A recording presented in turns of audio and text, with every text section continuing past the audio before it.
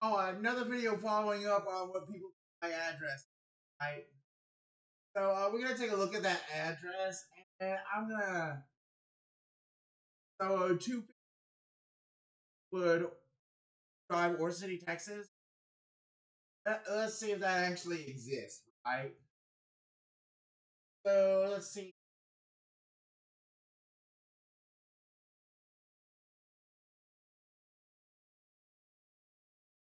That's an